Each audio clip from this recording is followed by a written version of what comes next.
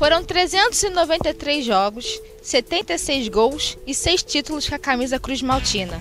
Consagrado como rei da colina, Juninho Pernambucano foi um dos grandes ídolos do Vasco nos últimos 20 anos. Em sua última coletiva em São Januário, o jogador se despediu da carreira e com certeza vai deixar saudades para a torcida.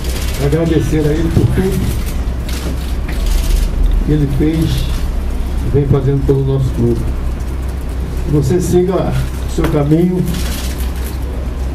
como sempre fez, tomando as posições, as decisões que você considera importantes para a sua vida. Então, antes você com certeza vai ter muita coisa, perguntas, mas eu quero deixar aqui para você o presidente do Vasco, o título, que já está comigo ali há bastante tempo. Né?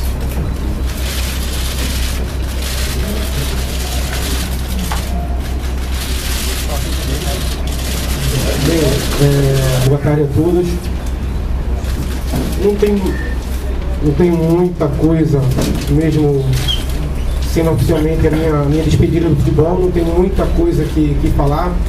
Muito mais a, a agradecer a todos que, que eu pude conviver durante todos esses 20 anos aí como, como jogador profissional. E resolvi parar porque depois da última, da última contusão no, no final do ano passado, eu tinha praticamente decidido parar de jogar e acabei me recuperando e, e, sendo convencido pelo, pelo Rodrigo, pelo presidente, a, a fazer a pré-temporada para tentar voltar a jogar e disputar o Campeonato Carioca, até pela possibilidade real de uma conquista antes de, de parar de jogar. Mas os treinamentos foram difíceis e eu não estava mais reagindo como antes. Eu não ia mais conseguir é, ser o atleta competitivo que sempre fui. E é claro que algumas vezes as coisas pareciam que, que ia dar, né, que, que era mais fácil, mas finalmente eu, eu preferi tomar essa decisão.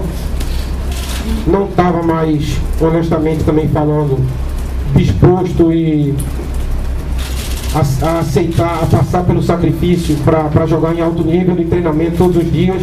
Então estava um pouco mais difícil para vir treinar.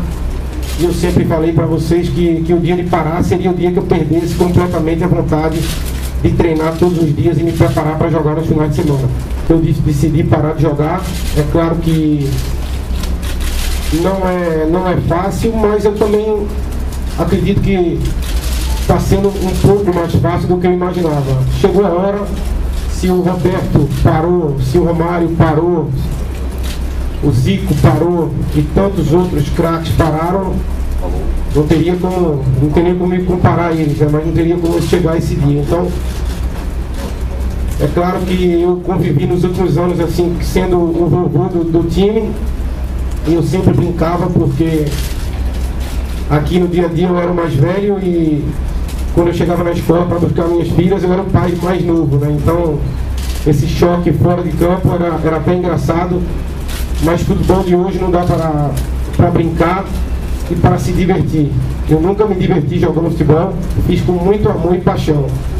Agradeço aos dois especialmente porque foram os dois que, que foram me buscar no Catar, a proposta oficial que, que recebi do Rodrigo para voltar, e o Roberto que foi me buscar depois.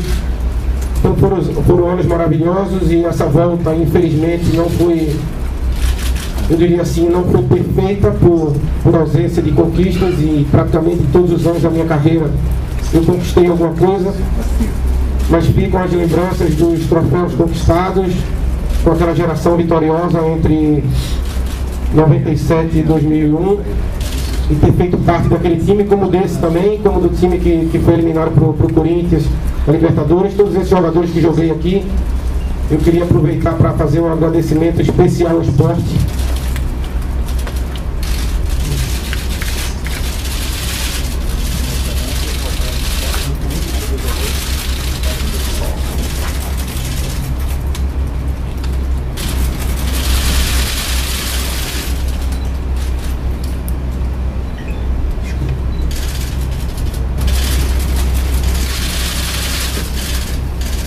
Foi lá onde tudo, tudo começou.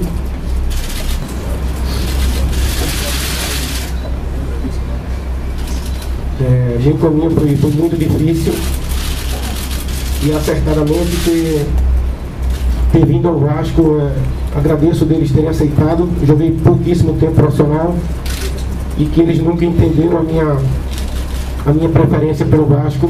Então eu lamento por isso mas reconheço e sou grato pelo início da carreira, mas foi aqui onde eu,